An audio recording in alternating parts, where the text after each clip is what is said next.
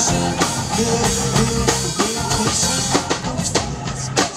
in your mind, cause if you practice good nutrition, you can live a long time. Time with your family, time with your friends. If you rap about nutrition, the fun never ends. Now get out there, kids. Use what you know. One, two, three, go!